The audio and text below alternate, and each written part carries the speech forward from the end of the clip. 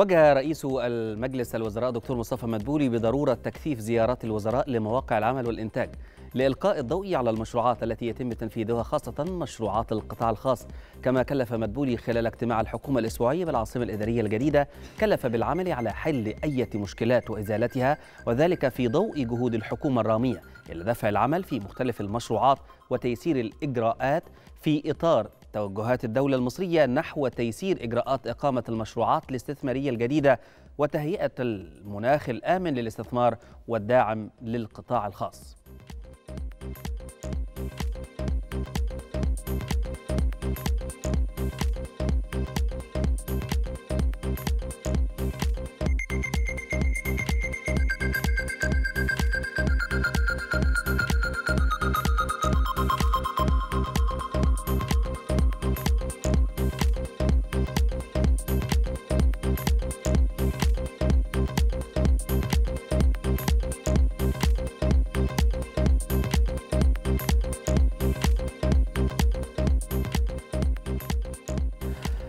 تناول مجلس الوزراء برئاسة الدكتور مصطفى مدبولي موقف الأداء المالي للفترة من يوليو حتى ديسمبر من العام المالي 2023-2024 وكذا تقديرات العام المالي الحالي.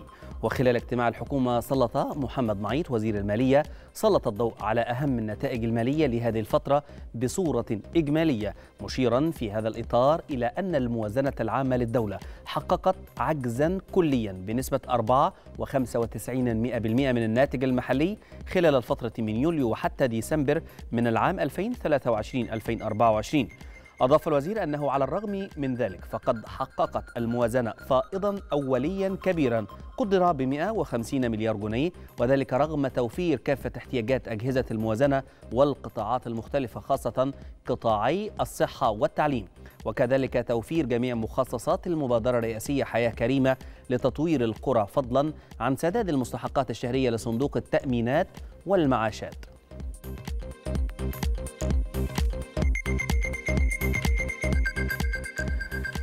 كما استعرض اجتماع الحكومة أبرز ما تحقق من نتائج أعمال وزارة السياحة والأثار خلال الفترة الماضية. خلال اجتماع مجلس الوزراء أوضح وزير السياحة أنه على الرغم من التحديات الراهنة إلا أن عام 2023 شهد تحقيق أرقام قياسية بالنسبة لحجم السياحة الوافدة إلى مصر حيث سجل عدد السائحين خلال العام 14 مليون و906 ألاف سائح وأضاف الوزير أن الربع الرابع من العام 2023 شهد إقبالا كبيرا في حركة السياحة وهو يعد الثاني في التاريخ حيث سجل 3.6 مليون سائح وافد إلى مصر وذلك بمعدل زيادة في المئة مقارنة بنفس الفترة من العام السابق وذلك بسبب الحرب على غزة.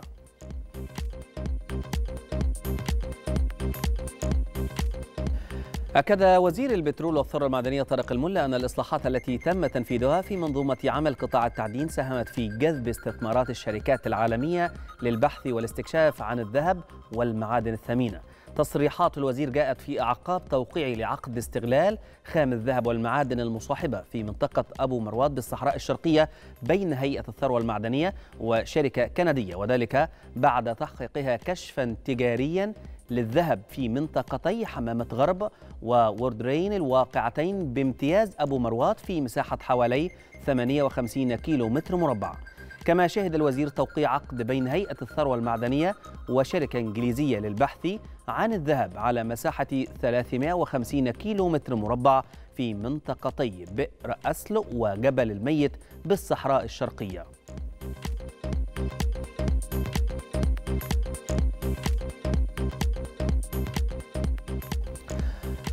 عقدت بالقاهرة فعاليات المؤتمر الصحفي الأول للبورصة المصرية للسلع والتي تم تدشين مسماه الجديد البورصة السلعية مصر. تعد البورصة السلعية مصر منصة رقمية توفر فريق دعم ولا تقوم بتحديد الكميات المتداولة كما لا تقوم بالتوجيه نحو البيع لجهة أو منع أخرى.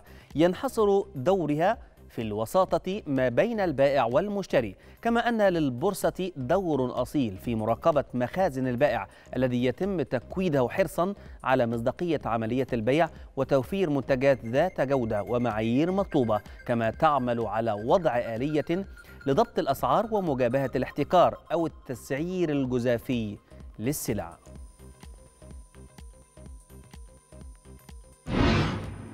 أحب إن أنا أزف إليكم خبر أن تم تغيير اسم البورصة ليكون البورصة السلعية مصر. وعشان كده كان في لقاء يسم هذا اللقاء وتم الموافقة على تسمية البورصة السلعية مصر بدلا من البورصة المصرية للسلع لسهولة التعامل ناس كتير بتقول هي البورصة دي إيه؟ وهل هناك خلط بينها وما بين بورصة الأوراق المالية؟ طيب إيه الفروقات ما بين البورصات السلعية وبورصات الأوراق المالية؟ وده السبب الحقيقة اللي إحنا موجودين بشأنه النهارده إن إحنا نتحدث عن مفهوم البورصات السلعية وما تم خلال الفترات السابقة. منذ تأسيس البورصة السلعية في عام 2020 اللي إحنا بنستهدفه النهارده بن بنعرف الناس هو مفهوم البورصة إيه بغض النظر كمفهوم أساسي كبورصة أوراق مالية بورصة سلع. بس هي البورصة السلعية الحقيقة برغم التاريخ التاريخ بتاعها في مصر اللي هو بيمتد لأعوام عديدة تفوق ال عام إلا إن مفهوم البورصة السلعية في مصر اختفى مع خمسينات القرن الماضي. فاحنا بقالنا حوالي حاجة و70 سنة ما عندناش بورصة سلعية في مصر. عشان نعيد إنشاء البورصة السلعية بياخد وقت وبياخد مجهود.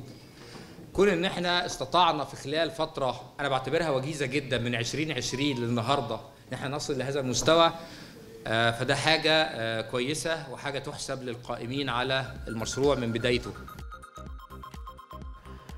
تسارع التضخم في بريطانيا بشكل غير متوقع في ديسمبر على خلفية رفع الرسوم المفروضة على التبغ وفق ما أظهرت بيانات جاءت دون توقعات بتسجيل تباطؤ وقلصت الأمل بخفض معدلات الفائدة. هذا ارتفع مؤشر أسعار المستهلك إلى 4% في الشهر الماضي في أول زيادة منذ فبراير من العام الماضي 2023 أثارت الأنباء أيضا مخاوف حيال أزمة تكاليف المعيشة في بريطانيا بعدما وصل المعدل إلى أدنى نسبة منذ عامين مسجلا 3.9% في نوفمبر. أفاد كبير خبراء الاقتصاد لدى مكتب الإحصاءات الوطنية غراند فيتشر أن معدل التضخم ارتفع قليلا في ديسمبر مع زيادات في أسعار التبغ نظرا إلى الزيادات التي فرضت مؤخرا على الرسوم الجمركية.